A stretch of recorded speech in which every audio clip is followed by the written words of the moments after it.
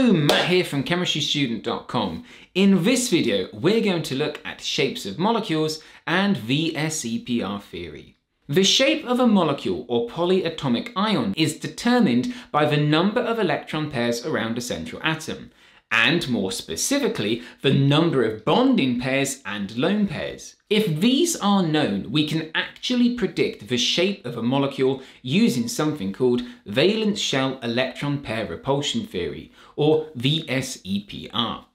There are different ways to approach learning this theory. However, I like my students to think of it in two steps, and this is how I normally teach it. First, we consider the total number of electron pairs, or electron regions, around the central atom. This gives us a starting arrangement before we consider the bonding and lone pairs of electrons to give us a final shape. For two electron regions, they will arrange themselves in a linear way, with 180 degrees between each region. For three electron regions, they will arrange themselves in what's called a trigonal planar arrangement, with 120 degrees between each region. For four electron regions, they will arrange themselves in what's called a tetrahedral arrangement, with 109.5 degrees between each region. For five electron regions, they will arrange themselves in what's called a trigonal bipyramidal arrangement, with 180 degrees and 120 degrees between each region. And for six electron regions, they will arrange themselves in what's called an octahedral arrangement, with 90 degrees between each region. This is our first step, almost considering each electron region as a balloon. The arrangements of the balloons will depend on the number there are around a central point, the atom. Now, we need to consider how many of the electron regions are bonding pairs and how many are lone pairs of electrons. If the central atom has no lone pairs of electrons, then the number of bonding pairs is the same as the number of electron regions, and the shape and bond angles are the same as the starting arrangement. For example, two bonding pairs and no lone pairs would give a linear shape, with a bond angle between the bonds of 180 degrees.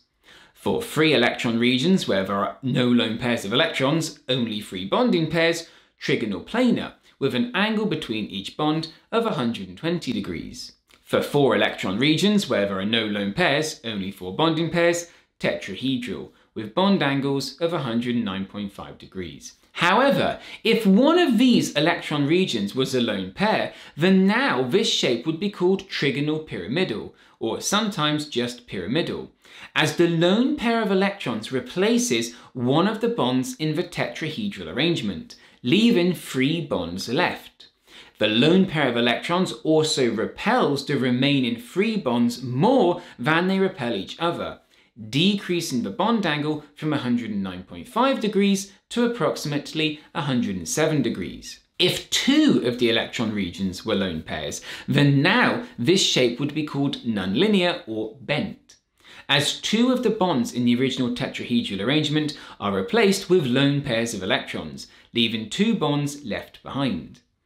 Again, each lone pair of electrons repels the remaining two bonds more than they repel each other, decreasing the bond angle from 109.5 degrees to approximately 104.5 degrees, a 2.5 degree decrease per lone pair of electrons. For five electron regions where there are no lone pairs, only five bonding pairs, this shape would be trigonal bipyramidal, with bond angles of 120 degrees and 90 degrees.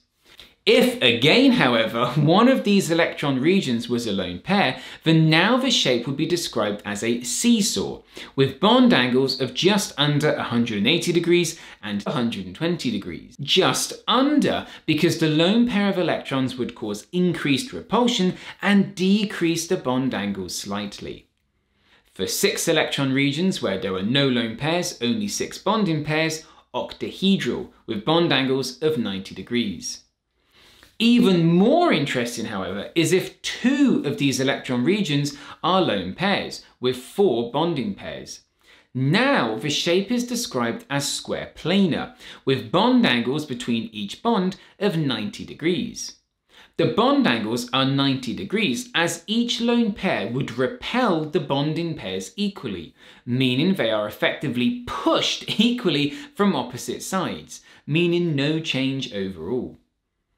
At this level, you should be able to use these rules to predict shapes of molecules for central atoms with up to six electron regions. I hope you found this video useful. Please check out other relevant videos in the links given in the description below and visit chemistrystudent.com for free notes and revision materials.